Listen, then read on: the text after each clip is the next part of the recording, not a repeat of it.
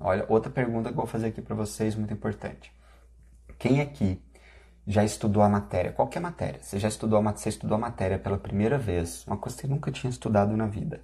Você estudou a matéria pela primeira vez, e aí você foi fazer uma bateria de questões.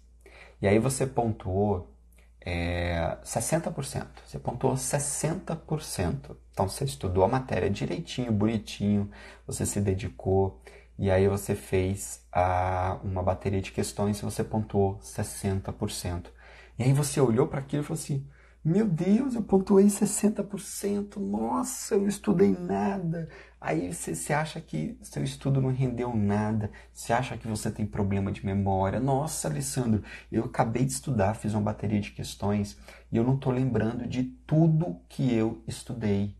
Né? Nossa, eu não acertei, eu não gabaritei as questões. Com quem já aconteceu isso? E aí o estudante de alto desempenho, ele sabe que isso é normal. Bom, primeira vez que eu vou estudar, olha a consciência da realidade. A primeira vez que eu vou estudar, a meta é 50%. Por quê? Porque é a primeira vez, porque eu nunca estudei aquilo.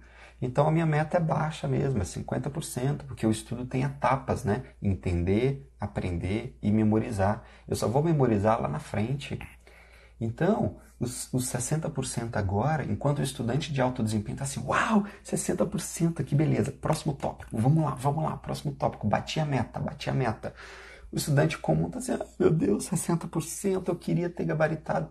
Meu amigo, não adianta você querer ter gabaritado. A aprendizagem, ela tem um processo, ela é um processo, sabe? Primeiro a gente entende, lá na frente a gente vai aprender, depois a gente vai memorizar, sabe? Você tem que fazer muita coisa, estudar matéria, fazer exercício, fazer revisão. Cara, tudo tem um momento certo de fazer.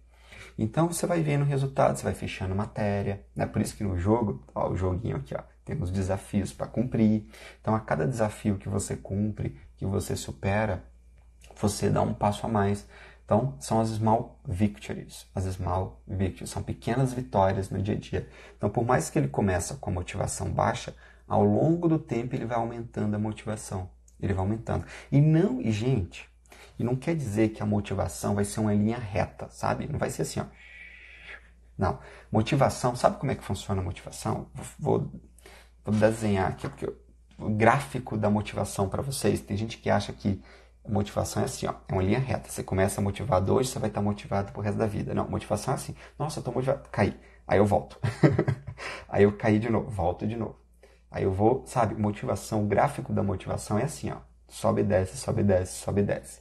Por quê? Porque a gente vai cair, a gente vai cair. Mas como tem aquela frase no filme do Batman que eu adoro, que é o seguinte: por que, que a gente cai? Por que, que a gente cai? Qual o objetivo da gente cair? A gente cai para aprender a levantar. Então a motivação caiu, a gente olha e fala assim: hum, por que, que minha motivação está caindo? Porque geralmente quando a motivação cai, é porque você está com a mente fora da realidade, é porque você já saiu da realidade. Quando você está focado na tua realidade, a motivação, beleza, ela não tem essas quedas bruscas. Ou você caiu, você fala assim, opa, saí da realidade, volto. Volto, volto para o mundo real, volto para o mundo real.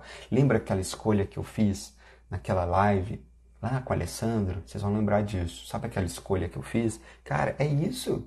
Essa reprovação, ela faz parte dessa escolha que eu fiz. Essa dificuldade que eu estou enfrentando hoje faz parte dessa escolha que eu fiz. Ter dificuldade de estudar essa matéria aqui faz parte dessa escolha que eu fiz. Poxa, eu tenho que trabalhar, eu tenho que estudar, eu tenho que cuidar dos filhos. Nossa, Alessandro, eu trabalho o dia inteiro, estudo à noite, não sei o que, faz parte da escolha que você fez. Então, a todo momento você vai trabalhar, ó, trazer a tua mentalidade para realidade, beleza?